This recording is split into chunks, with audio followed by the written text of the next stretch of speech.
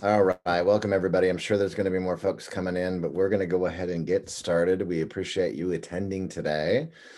We've got a great webinar ahead brought to you by Modern Hire and Talent Board. And the title of this webinar is Better Hiring Through Data Using AI to Build a More Diverse Workforce. And really excited uh, to have this discussion today with our guest presenters, and let me go ahead and introduce those. Uh, we've got Eric Sydell and Catalina Flores from Modern Hire who are going to be presenting today. Lots of great takeaways and insights for you. So Eric, I'm going to go ahead and, and turn it over to you. And then we'll, we'll, by the way, before we get started, we will take questions at the end of the webinar. If you've got them throughout, make sure to, you know, post them either in the Q&A part of the console or the chat function and then once they wrap up their presentation, we'll make sure to get the, those questions to them and answer them live. And uh, we will also be recording the session too. But again, we appreciate you being here live today. So Eric and Catalina, take it away. All right. Thank you, Kevin. Appreciate it. And thank you all for joining today. Uh, we're excited to talk about this topic uh, and uh, just do some brief intros here. So my name is Eric Sydell. I'm the EVP of Innovation at Modern Hire, and by training and background, I'm an industrial psychologist, um, as are a lot of us at Modern Hire. Um, in my role, I oversee our innovation team, which includes a bunch of data scientists and psychologists. And our focus these days is really on making better use of data. So, um, collecting candidate data in particular and trying to understand how that data predicts likelihood of success in the job. And so we do a lot of research around that and are always looking at new techniques and trying to drive the field forward so that we can better assess candidate potential um, more validly and more fairly. And um, so that's a little bit about me, and I'm fortunate to be joined today by one of our newest analysts, uh, Catalina Flores, who is also a psychologist and uh, completing her PhD work now. And uh, I'll pass it over to her to say hello. Thanks, Eric. I'm Catalina. I sit in the professional services team as Modern Hire, as Eric mentioned. So I work with a variety of clients across different industries to build, tailor, and validate pre hire assessments. And in my work, um, I make sure that our assessments provide a positive experience for candidates, give them an accurate representation of what to expect in their roles, and that they're fair and legally defensible. So my training is also in industrial organizational or IO psychology. I have a master's degree from the University of Akron, and I'm currently finishing my PhD. My doctoral research has centered around diversity in the workplace in the context of employee selection and performance management. And I'm really broadly interested in how we can cultivate equitable work environments that truly harness the benefits of diversity. So today I'll be sharing some of my research with you all, and I'm just really excited to be here. And I love having these types of conversations. So looking forward to chatting. Awesome. That's great. Thanks, Catalina. Yeah, and I'm particularly excited because uh, she's going to be talking about her her dissertation research, and it's very relevant for the diversity topic, and it's also very cutting edge, um, just you know being completed now. So it's exciting to be able to talk about some leading edge research and thinking. I, I want to do just a little bit of background on Modern Hire. Um, we are a global company, um, operate in over 200 countries and territories, and have over well over 300 clients globally, about half of the Fortune 100 clients. Um, we have a lot of PhD level IO psychologists and data scientists, over 40 at last count, and lots of product and engineering resources internally as well. Um, we've been fortunate to win a lot of different awards with our clients in conjunction with our clients um, for different solutions that we've put together. Most recently, um, one of our clients, Walmart, won uh, an award called the HRM Impact Award, which is given out every year for companies that make use of data in the hiring process and show how that data is um, really related to outcomes that matter for um, the organization. And as you might imagine, Walmart has a lot of data to do those sorts of analyses with. Um, at Modern Hire, our expertise is in what we call the middle of the hiring funnel. So we're focused on screening, assessing, and interviewing candidates and using the information that comes out of those steps to do a better job of predicting likelihood of success in the job. And um, not just more valid, but also more fair. Um, so we do spend a lot of time working on issues like bias and diversity and how to enable, how to um, manage those and to do better with them in the hiring process. Um, but some of our tools also include chat bots and texting capabilities and schedulers like automatic scheduling functionality, uh, lots of different variations on interviewing asynchronous or live, and lots of different reporting and analytics features as well. So that's a little bit about our background as a company and, uh, and what we do. Um, the next thing is we're, we're going to talk a bit about AI and about predictive hiring, and then we're going to sort of move into diversity and inclusion topics and talk a bit about how AI and uh, modern hiring tech can be used to enable better diversity and inclusion. And then we'll close, we'll talk about ethical standards um, in, in our field that are relevant for this topic and some of the ways that we're working on uh, using AI to reduce bias, some of the specific ways. And as Kevin said at the beginning, uh, please, please come up with questions. Uh, we love to encourage dialogue. We'll probably hold them till the end, um, but would be great and would love to hear from you.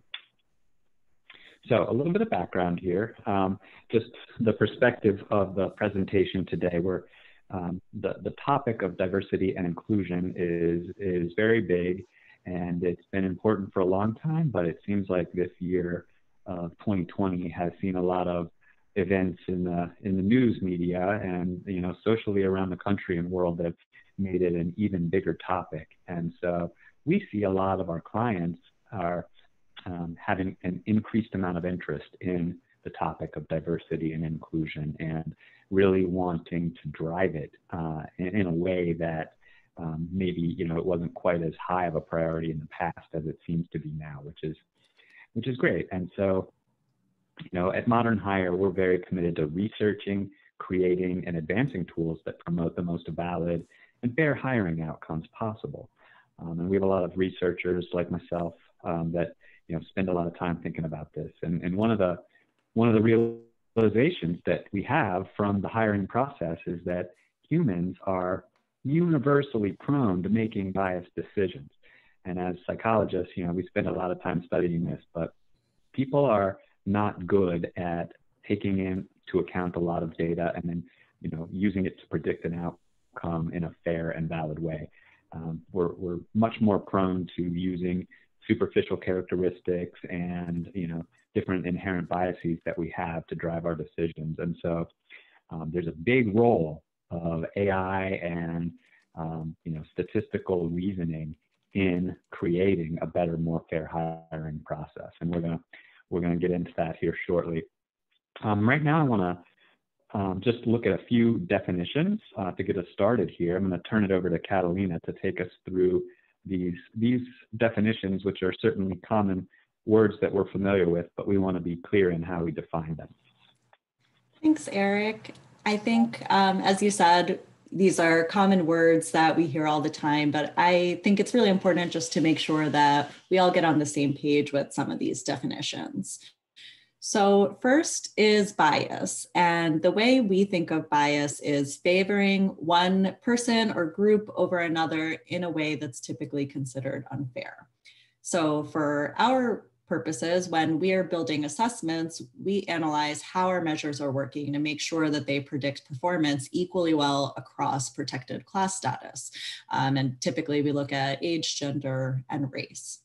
Diversity is a group characteristic. So it's important to call out here that people aren't diverse just by themselves, but groups can be diverse by having representation of different social categories and identities, like race, class, sexual orientation, religion, disability, and you know there are lots more characteristics that could go in here as well.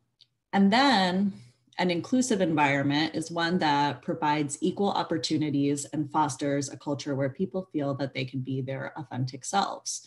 And so all three of these are highly relevant to the topic today. You know, primarily ensuring that our hiring systems are free of bias will facilitate having more diversity within workplaces. But it's important to note that bias has to do with the decision process. So if we have a candidate pool that's mostly white and male, we can make unbiased decisions, but still land in a spot where we have an organization that remains mainly white and male. And so, you know, that being said, it does present opportunities to look a little bit earlier in the funnel. And we can instead think about maybe the way that we're looking at our qualifications to get to our applicant pool. And that could be biased. So if we think that a job requires a master's degree, but it could really be done well with a bachelor's, and we would see more diversity among bachelor's degree holders, then that could be a different opportunity to get rid of bias. Um, and just to sum it up again, diversity is basically having a seat at that table, and inclusion is the feeling that you actually belong there and your perspective is valued. So when you have diversity without inclusion, people feel like they're included uh, as tokens, and that can be really isolating and harmful. So it's important to consider all of these and how they work together. Uh, I'll pass it back to Eric now for some definitions on the AI topic. Great. All right. Thank you. Um, so with um, you know, with that understanding, we'll move forward and talk a little bit about AI and predictive hiring, sort of in general, and then we'll talk. Um, we'll get into more specifics around diversity and how we can use um, this type of hiring to enable better diversity. So, real quick, um, whenever we talk about AI, I like to do some basic definitions here. So, um, you know, AI, artificial intelligence is just broadly computational reasoning. So, you know, that little picture of a calculator there is sort of an example of AI, an early AI maybe. Um, machine learning is a term that's used a lot just to describe ways that we model and optimize business outcomes um, or any outcomes. Um, but where we're using a lot of data and crunching it using um, various different statistical techniques. And then the really exciting thing in um, AI in the AI field is deep learning. And deep learning is this new technique um, that was really only created um, at the sort of the little bit after like 2006 or so.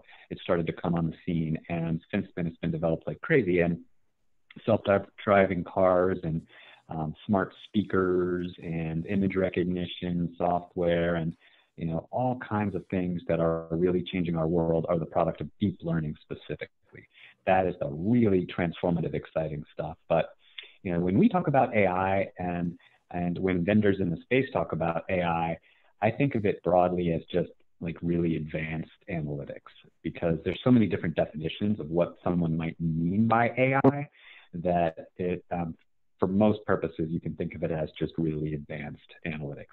Now, when we talk about it, we're also we're using a range. We're, we're using that term to mean a range of different things. The most exciting things that we do are definitely deep learning based, and we'll show, um, we'll talk about a little bit of that later. So when we talk about data and collecting data in the hiring process and using that data to predict outcomes that matter for our clients, um, we like to say that there's a lot of different types of data quality.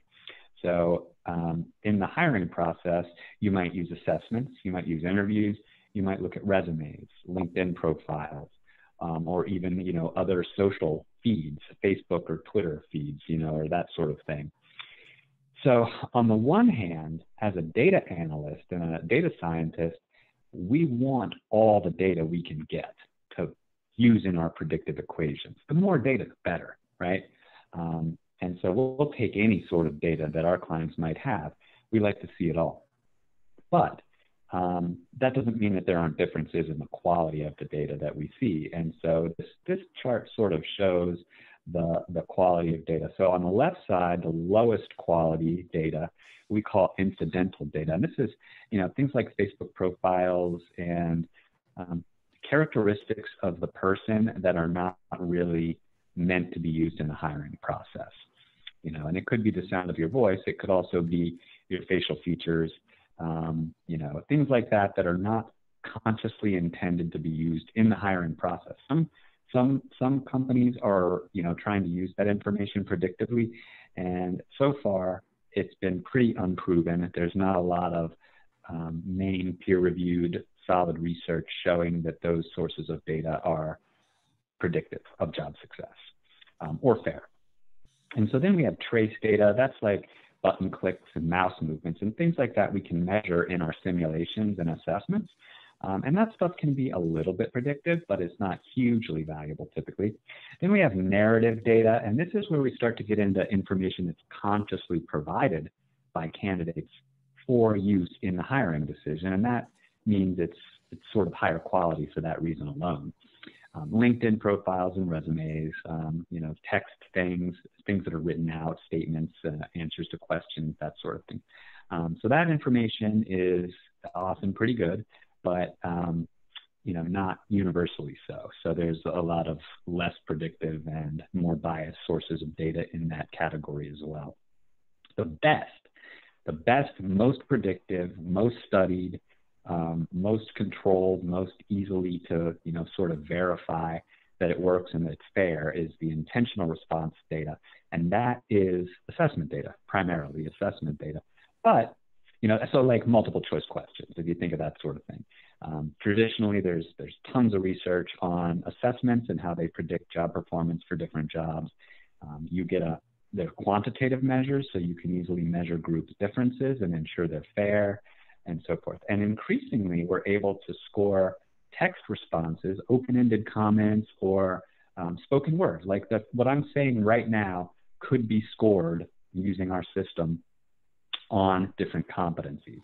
So our system can listen to me talk, and it can transcribe the words that I'm saying, and it can give me a score on different job relevant competencies um, using deep learning and natural language processing. So some of the most advanced stuff that we talked about on that previous slide, um, we can do now, which is really exciting. So, um, so that's sort of a range of, of data quality there that I wanted to share just as sort of level setting to help us understand.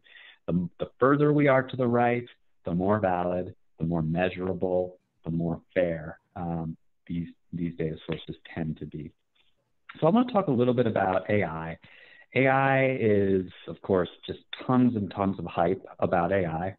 Um, and a lot of the press around it the last several years has been a bit on the negative side. And so um, that's with, with good reason. Um, there's been a lot of AI applications that have been poorly thought through, and initially, at least, how AI was rolled out. And so, if you have a big set of data and you study it with AI, to create scoring rules for that data, if there are biases already inherent in that data, the AI will just replicate those biases and scale them out at an even larger scale. So you can basically scale bias using AI if you develop it that way. And, and I think that early on, that's what happened a lot. So um, the irony is that while AI can cause bias if it's done poorly, it's also the solution to bias if it's done correctly. Uh, because AI can, different AI techniques can, can very well analyze candidate data and look, they can be programmed to look for bias, for group differences and things, so we can better control it um, using AI. Um, just real quick show a few examples of some of the problems with AI historically over the last several years. If you train it, if you train AI to tell the difference between a picture of a dog and a picture of a wolf. This is some research from a couple of years ago. Um, it can do that pretty well, and the study was done on this. And after it was done, the, the researchers found that the AI was able to tell wolves from dogs very well. But then they realized that uh, the reason it was able to do that was because the wolves tended to be in snowy backgrounds, and the dogs tended to be on manicured grass. And that's really what the uh, algorithm them had been looking for was grass or snow, nothing to do with the animal itself. So, you know, that's an example of how you can um, think that you're predicting something well, but uh, end up with a sort of spurious result. Another big problem you've heard a lot about deep fakes. Um, these are increasingly common. There's something called cheap fakes too, which is um, where they're they're videos that are you know designed to put someone else's words on and someone else's you know face and video, um, and they're not done very well. They're cheap, but um, they still have some impact on the on the discourse in the in the public arena. So. Um, and then, you know, one of the biggest problems in our space, I think, is just marketing hype. Um, there's just a ton of hype around AI um, as a term. And as I indicated earlier, it can mean a lot of different things. So just because a tool says that it's developed using AI doesn't necessarily mean that it's, you know, great, that it's doing something wonderful or that it's developed really rigorously or well, or that it's fair or valid or anything like that. So it's important to keep that in mind. Um, and, you know, ultimately AI, AI is very, it's a complicated new tool that our entire civilization is wrestling with right now. Um, you know, and we are in hiring as well, endeavoring to make use of it because it's such a powerful tool, but also to understand it and understand its limitations and things. So, you know, it's not universally a good thing. Um, there can be negative applications of any powerful tool. Uh, but that is a little bit of background on, you know, AI in general. Now, that was kind of some negative stuff but we also do see a lot of power and potential in AI in the hiring space. And so some of the ways that it is being used um, most often are for better assessment scoring, um, helping us to identify passive candidates that might be good fits. You'll see it used a lot for resume parsing, so understanding resumes better, um, or taking the bias out of resumes and things like that. Um, and that is fine, um, we typically say, but at the same time, you have to recognize that the resume itself is not a particularly great source of data about a person. They tend to be, um, you know, not not an overly valid predictor of a person's success in the job. Um, chatbots are getting better and better all the time due to AI. Um, we can score unstructured data, which is, as I mentioned earlier, that's speaking and you know text that's something I might type, that sort of thing. Um, a lot of applications in bias control, which we'll talk a little bit about, um, and just overall, you know, giving real-time feedback to candidates as well as shortening the overall hiring experience and limiting it down to just the predictors that really, really work. And AI can help us do all those things. So a lot of positive aspects of, of AI there for sure. Um, you know, in general, we recognize at Modern Hire that the hiring process is often very employer centric. Um, it's, it's not, you know, candidate centric per se, but a lot of the best employers, as the talent board can tell you and and Kevin can tell you, um, you know, are really focusing their processes around what is helpful and um, beneficial for candidates. And so that is a, a very, very important thing to keep in mind. AI is very powerful, um, but we really need to harness AI to help individuals.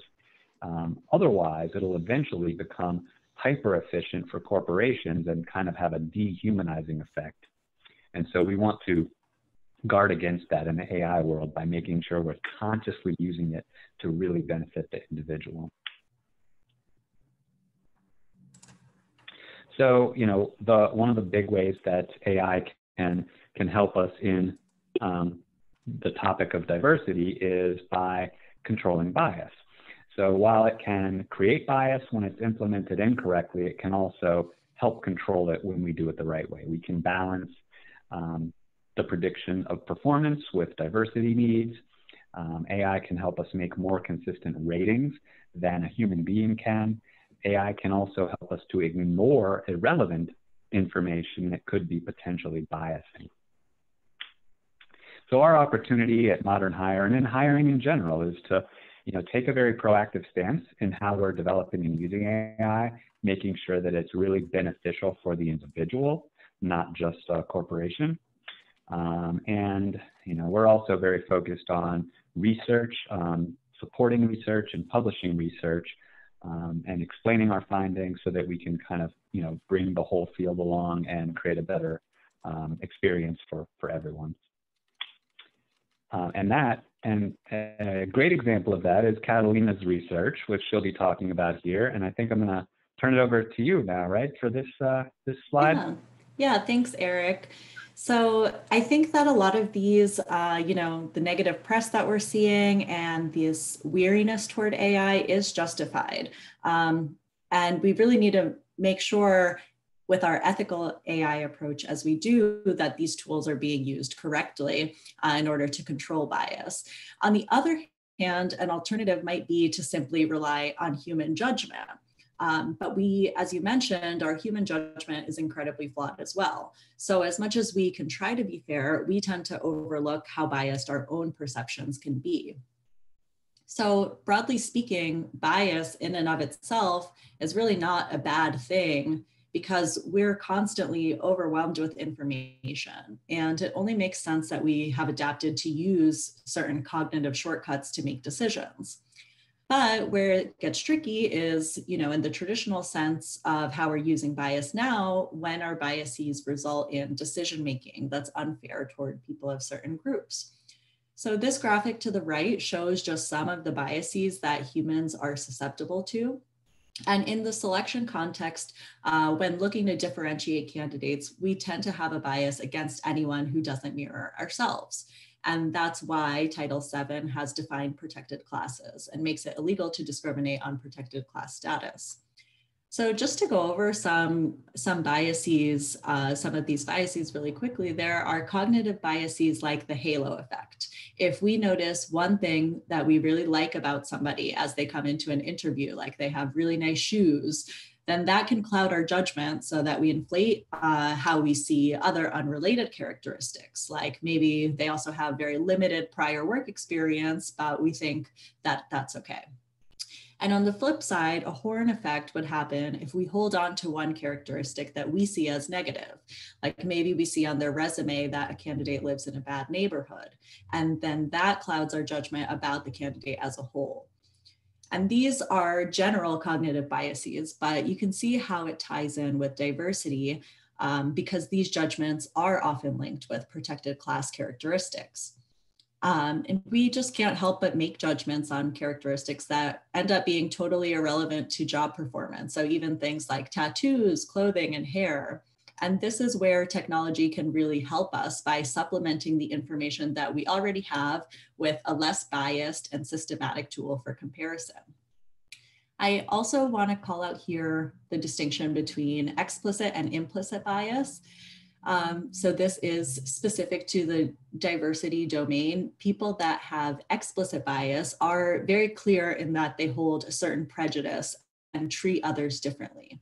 And this could result in verbal harassment and things like that in the workplace. But implicit bias, on the other hand, is more subtle and insidious. So it could be a belief, a prejudiced belief that you're not even aware of that values one social group or category over another and the two are not mutually exclusive. So you can consciously believe in equity and have no explicit bias, but still hold implicitly biased beliefs that affect how you see the world and make judgments. The point of this all being that human judgment can be biased in a lot of ways that we aren't even aware of. And even with our AI tools, we always have to keep an awareness that no technique is inherently free of bias. And this is something that we always have to think about and monitor on an ongoing basis to make sure that we're continuing to be fair. So why does this matter? Well, first, we're seeing more and more today that clients and the public expect this now. Recently, there's been lots of public pressure on companies to not only publicly state their values regarding diversity and inclusion, but also to include measurable action items. People want to see that companies are willing to put time and resources toward diversity goals. And importantly, diversity also lays a foundation for strong performance. So in here, I've included some research by a McKinsey and Company that speaks to this. They have found that diverse and inclusive organizations actually perform better. So it's not only great for morale and growth, but there's a significant financial impact as well. And this uh, is also confirmed with research by Boston Consulting Group that shows that companies with more diverse leadership report higher innovation revenue.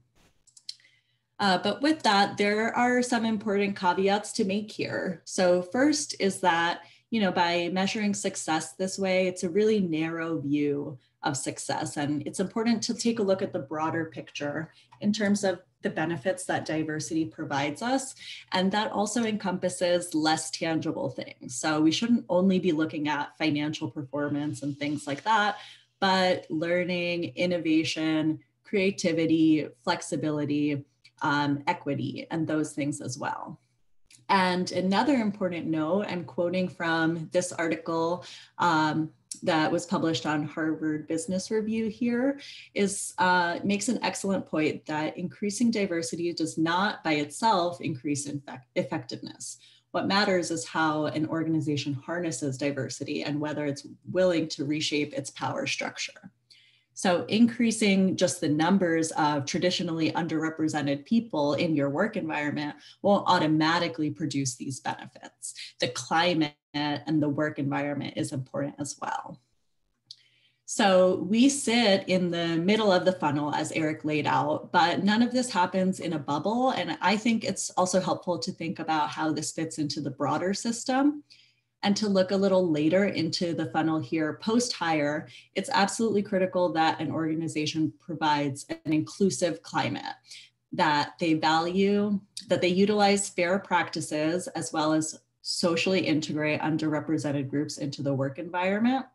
Um, this is where my research lies, and it's a relatively new area of research, but there is evidence that uh, perceptions of supportive inclusion climates appear to improve job attitudes like job satisfaction, commitment to an organization, job engagement, as well as sales performance and customer satisfaction. And companies with more inclusive climates are also related to fewer turnover intentions and less absenteeism. So a supportive inclusive inclusion climate is related to decrease in employees' propensity to leave the organization. So on this topic, uh, I want to briefly share some more about the research I've been working on, where I explored whether a favorable inclusion climate was related to better interpersonal dynamics at work the level of trust in one supervisor, the amount of feedback sought from one supervisor, and work stress. Those are the specific outcomes I was looking at. Um, inclusion climate has already been linked with other outcomes that I mentioned in terms of job attitudes, but with this study, I wanted to see if that would extend to interpersonal relationships as well. And the theory behind this being that in organizations with favorable inclusion climates, employees will feel more trusting of their supervisors, be more comfortable approaching them to ask for feedback on their performance when they need it, and therefore will be able to do their jobs more effectively, manage their time better, and then have less stress. So I tested this in a sample with diverse working individuals so that we could also look at effects based on race. And here I hypothesized that inclusion climate would be associated with favorable outcomes for everybody, regardless of race, but that there would be stronger relationships for people of color who are likely more attuned to diversity cues in their workplace. And here we found some interesting and surprising results. So first, the relationships that I've laid out at the top uh, in that first bullet here did emerge as expected. So more positive perceptions of inclusion climate were associated with significantly higher reported trust in the supervisor, uh, feedback seeking behavior, and less work stress. So it's showing that having an inclusive climate does affect these interpersonal relationships as well as job attitudes. But the effect of race was actually the opposite of what was hypothesized, in that these associations were stronger for the white employees and weaker for employees of color. So, in order to wrap our minds around this, a couple of things came up. Um, first point I want to make is that I've often heard a reluctance toward inclusion efforts because there's this perception that they could result in backlash from majority group members. And these results really debunk that myth, I think. And it shows that working in an inclusive environment where you get distinct perspectives and different opinions and ideas are shared, that provides a better work environment for everybody, not just minority group members. But on the flip side, it was odd to see that those relationships were weaker for employees of color. And that got us thinking about when we asked participants about the inclusion climate, what that measure really captured. So as I mentioned, there were two pieces to inclusion climate, the fair practices and social integration. And by looking at my measure more closely, I realized that I was capturing more of the fair practices piece. So is this a place where discrimination is not tolerated? And what I'm thinking is that while that is important and necessary, employees of color in particular really need more of that second piece. So the social integration, not only being invited to the work environment and not being discriminated against, but actively having their perspectives sought out, valued, and included. So it's sort of like the diversity and inclusion distinction that uh, we mentioned at the beginning. And we're currently looking into a follow up that will measure both pieces of this distinctly so that we can confirm whether this thinking is correct to follow up. So if you want to go to the next slide, Eric.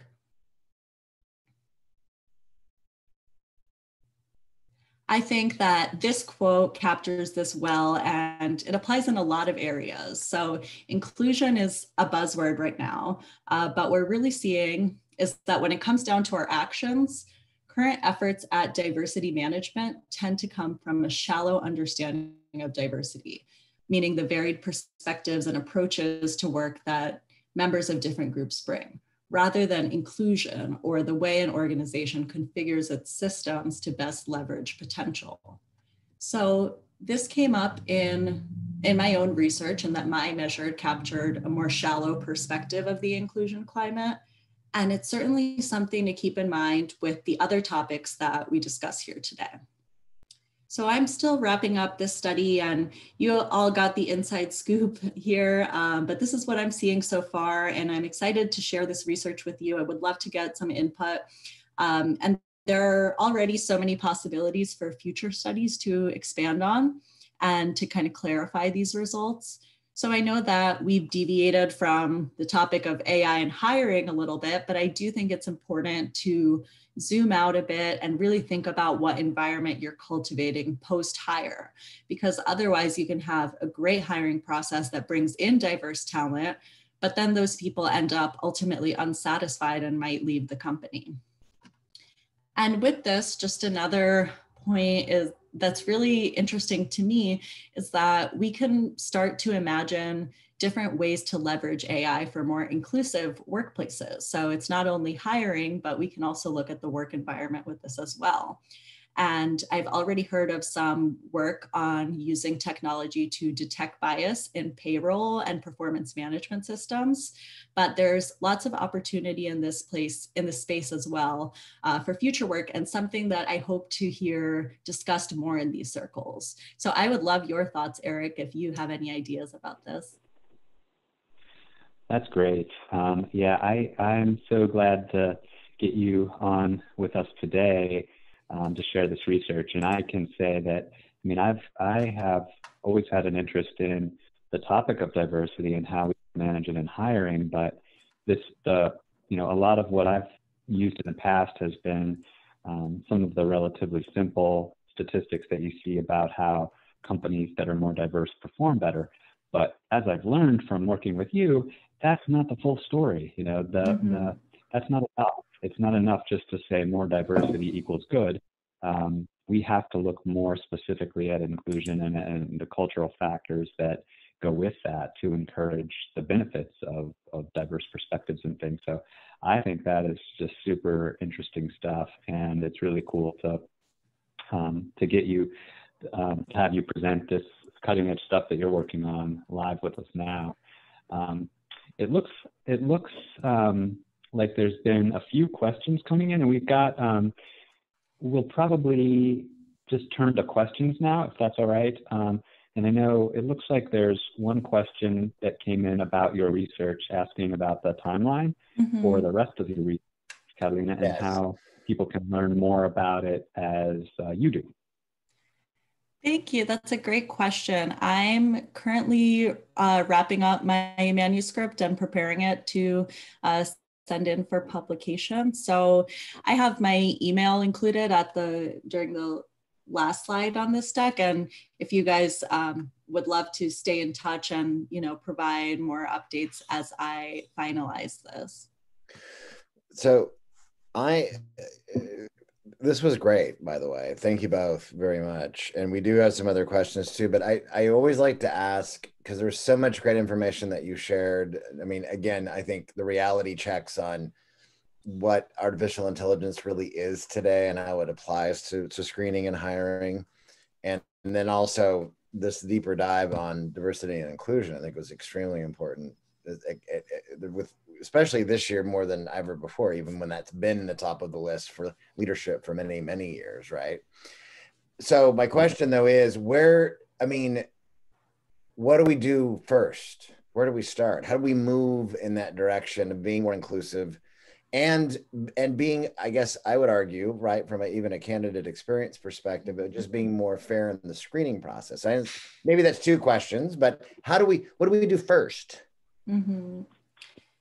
That's a great question. Um, I think the first thing that comes to mind is that we can all provide some value by starting where we are, you know? So Eric and I work in the selection space, but there are recruiting people who can also think about these issues. And if everybody is uh, paying more attention, then we can all make an impact within these different pieces. So I don't think that it's that cut and dry as in uh, to say that one of these objectives needs to be met first. You know, we can all be working sure. at the same time.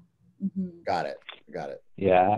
I think, yeah, there's not, there's unfortunately no silver bullet, um, but it's a lot of different things that have to come together. So, I mean, as Catalina said, you know, we're really focused on how we can use data, um, you know, and how we can debias data and how we can help companies to take the normal human biases that we all have out of the equation. And you know what? And that that and that's true, but you've also but you do have to going back to the leadership part of the equation, they they have to be on board to want to make this change as well, right? If if it's if it's and it's got to go beyond you know, to be frank, it's got to go beyond lip service of yes, mm-hmm. we, you know, we want to hire different ethnicities and, and races and, and, and cultures to say that we're diverse. And um, anyway, you know, not disparaging anybody that's hopefully making that move, but I think it, leadership does, does have to be on board. Along, the, yeah. along. So there's another question that I thought was actually really good. I mean, it was more of a. I'll kind of rephrase it as a question, but when you showed earlier the the pre-hire predictor data quality, and about the, yep. about intentional response that can be discriminatory against people with disabilities, right? Mm-hmm. Blind, low sight, motor skills, um, perception challenges. Even if someone stutters, or you know, or the English is not their is not their primary language; it's their second language. Um, I mean, is I mean, is what do you think about that? I mean, I wasn't really quite yeah. clear on the on their question, but is how would you respond to that? Yeah, no, I think that's a that's a fair question. It's a really good question. Um, you know, there's different aspects of it. There's no perfect question or technique to use in the hiring process that's going to work for everybody. You know, so um, that's one of the reasons why there's lots of different tools in the hiring process, lots of different steps, interviews and assessments and background checks and you know all these different things. So sometimes, you know, any one of those techniques won't work for a certain person. And that's okay, you know, because you're never going to catch everybody with a technique that works for them, you know, right. in, in all ways. So, you know, when we encounter candidates with disabilities that might be, you know, sight related or hearing related or whatever the case may be, you make accommodations for them. So um, that's the typical path is to say there's a pretty small number of people that uh, that aren't able to you know see and use a computer to respond to some questions or some exercises so if you encounter them then you need to have a path forward for them that doesn't negatively impact them and so a company would typically say well here's an alternative way to move forward in the process where you don't have to take that assessment or um, you know here's a larger print version of it or something of that nature. So those are often, you know, decided on a on an ad hoc basis, I think. Um, so it, you know, it is very very important to make sure that none of the tools that we use have an adverse impact on anybody. But you know, at the same time, um, the intentional response category there gives us the most quantitative and best performing predictive information about large candidate pools. So there's you know, there's tremendous predictive power and ROI and and also, you know, fairness because we're able to measure fairness very easily since those are quantitative measures. Right. Yeah. Excellent. Thanks, Eric. Appreciate it. Um, I don't know. There's some there's some comments that we're going to pass on to you after the webinar to you both, just so you know. Um, uh, okay that'll be good for follow up for you, not necessarily questions, but good things for you guys to think about and respond to. Um, otherwise, I think, and there's no other questions right now specifically about the the content today. Um, th- this was great. I mean, again, I I love uh, Catalina the work that you're doing in particular because I do I do think that there's this there's a inherent need to to really truly understand the differences that you outlined as it relates to inclusion and and the benefits of mm-hmm.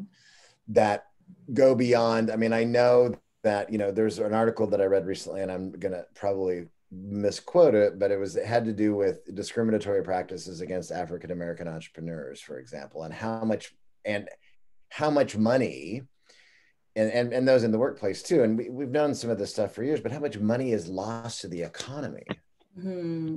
because, because of that, of, you know, that could have benefited so many people and created so many more jobs. And I mean, the list goes on and I didn't want to open a diatribe necessarily about that today, but I just think that the work that you're doing, as well as the, again, Eric, the, the, the assessment that you guys offer and the work that you're doing there um, to make the process yeah.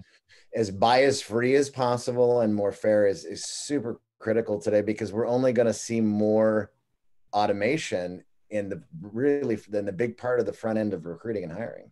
So yeah. um and in the middle in the middle of the funnel too. So thank you both very much. Um i totally appreciate your time. And uh, did we get another question? Yeah, there it does look like there's another another follow up about the um, okay. the comment I made about ad hoc kind of you know disability um, accommodations and things. And the question says, you know, when you run into those disability situations yeah. and it's ad hoc, how scalable is it? Mm-hmm. Um, and that's you know that's a great great question. I mean, typically we don't run into that situation a lot with assessments. And I mean, keep in mind we do you know, we do assessments and interviews and all kinds of things, but mm-hmm. you would, I think we're mostly talking about assessments here, but it's something that our clients encounter pretty rarely. So it's, you know, if it ever rises to be a big enough issue that they're seeing it repeatedly and a lot, then I definitely think that you would need to come up with an alternate, um, alternate way to go. But in the, at least in the assessments that we develop, um, you know, they're designed to be very readable and very, very friendly to the candidate. Um, so it's not like there's a ton of tiny print or anything like that. Thank you very much.